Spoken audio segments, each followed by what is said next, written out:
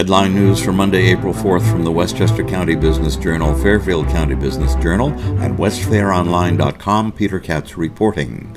UN High Commissioner for Human Rights Michelle Bachelet said this morning she is horrified by the latest images the world is seeing of the Russian military slaughter of civilians in Ukraine.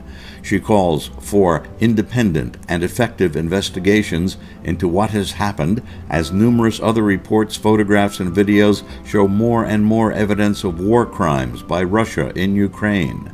Ukrainian President Zelensky spoke via pre recorded video during last night's Grammy Awards telecast. He urged the world's musicians to continue telling freedom's story through their music. Musician Jon Batiste won five Grammy Awards, including Album of the Year.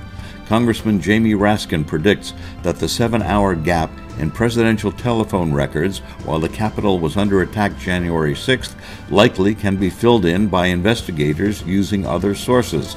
Raskin serves on the House committee investigating the January 6th attack. Use of burner phones or other non governmental phones by former President Trump in attempts to hide to whom he was talking could be evidence of a cover up of acts he knew to be illegal.